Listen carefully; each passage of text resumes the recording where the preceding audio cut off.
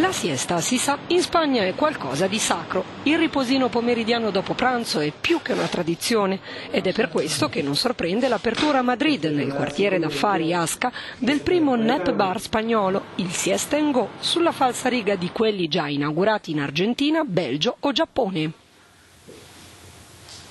Il mio capo ha fatto un viaggio a Tokyo e si è accorto che i nap bar laggiù sono nella norma, così ha deciso di inaugurarne uno qui. E cosa c'è di più spagnolo della siesta? A disposizione del cliente ci sono camere, letti o sofà da pagare al minuto o all'ora.